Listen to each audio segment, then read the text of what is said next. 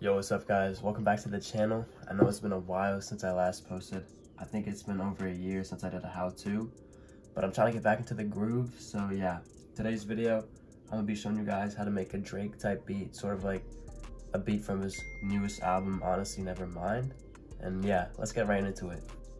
Alright guys, so I started out the melody with this pretty simple chord progression right here, and I'm using a pad from Expand called Silent Movie, and it's a part of the soft pads um, section in the preset library.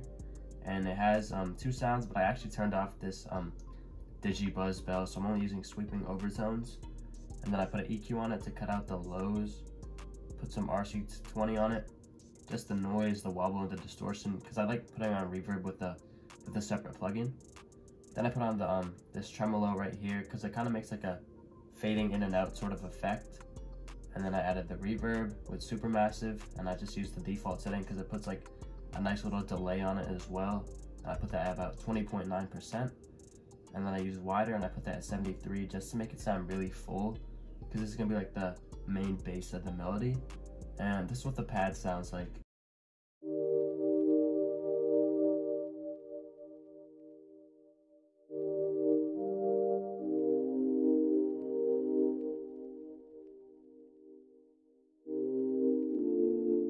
Next thing I added to the melody was just like bell sort of sounding sound from Labs.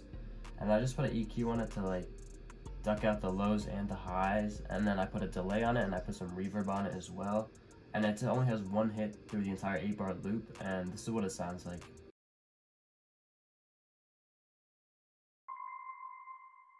Next sound I added to the melody was this little bell pattern right here and it's just coming in between the 6th and the 7th measure of the 8 bar loop and it's this bell preset from Expand. It's just the vibraphone preset. And then I added an EQ to cut out the low end and lower some of the highs. Then I put in reverb again, and then I put in echo. And I put on the 1 4th dotted with a 65%, and then I put the wet at 42%. And this is what it sounds like. For the last part of the melody, I just recorded some vocal chops. And for the effects, there's a lot on there. So pretty much I just got an EQ and that's what it looks like up there. Then I put on auto tune, I put on a noise gate. So this pretty much just like ducks out like the hissing sound or like if it picks up any other like air sounds or like buzzing or white noise or anything. And then I put on reverb, I put on a delay, I put on echo, I put on a low pass, and this one I'm just cutting it out to like about 1.5, um, I guess it would be hertz or whatever the frequency.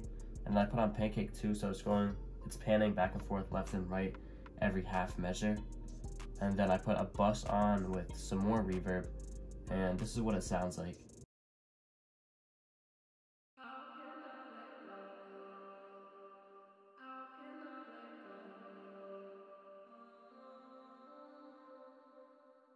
Alright guys, that's the entire melody. Next up we got the drums. I start out the drums with this pretty simple kick pattern right here.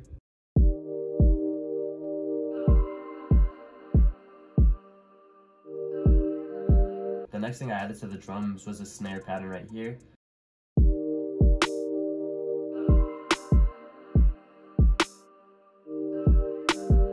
After the snare, I threw in this like accent sort of snare, and this is what it sounds like.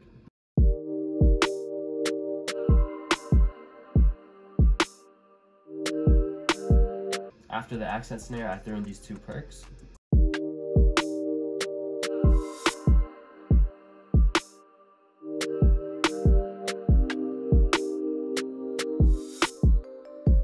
After those percs, I threw in this open hat and it just sits on the second beat of every other measure.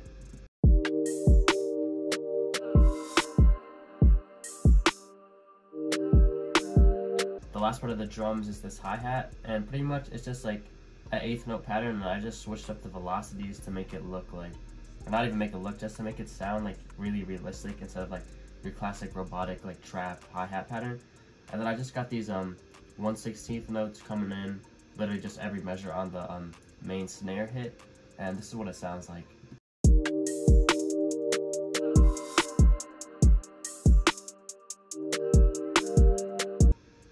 And the last part of the drums I added is the 808, and it's just a really simple pattern, and it's just following the um, the bass notes of the main chord progression, and this is what it sounds like.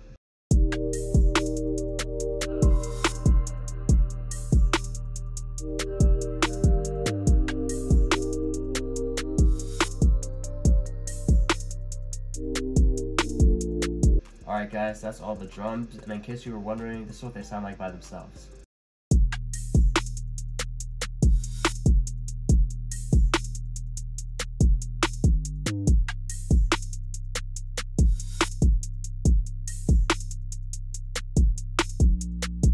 After that, I pretty much finished up the entire beat. So the only things I have left right here is this little like blue intro section. And what I did for that was I bounced out all of the melody patterns and the kick pattern.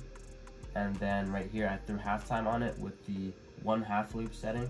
And then I just automated it so it's going down from a full mix to a 40% mix. So as like the intro progresses, you can hear more and more of like the non halftime version of it. And this is what it sounds like.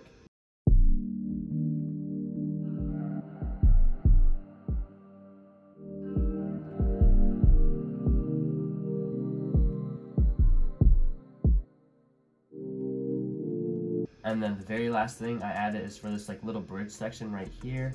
I duplicated the hi-hat and then I just put halftime on it with the half loop and then I cut out some low end, I mean some high end so that it like matches with like this halftime section right here and this is what it sounds like.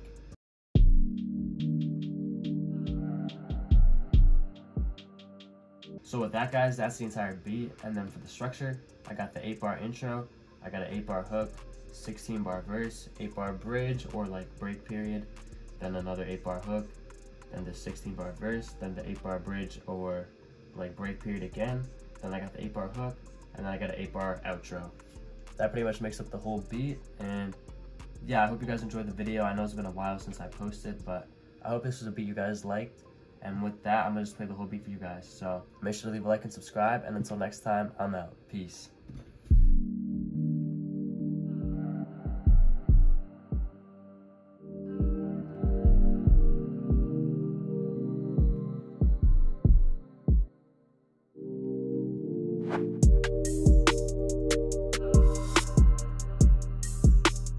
You